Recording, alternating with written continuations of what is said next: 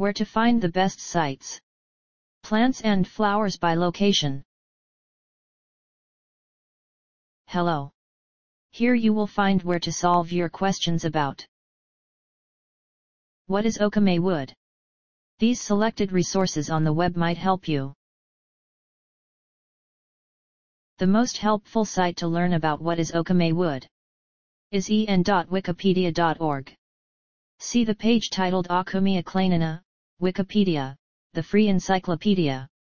Here's the link.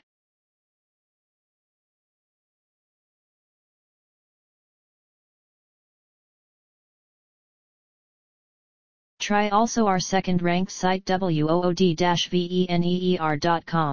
especially the page African Okoume, Gabon Wood, Gabon Mahagon. This is the link.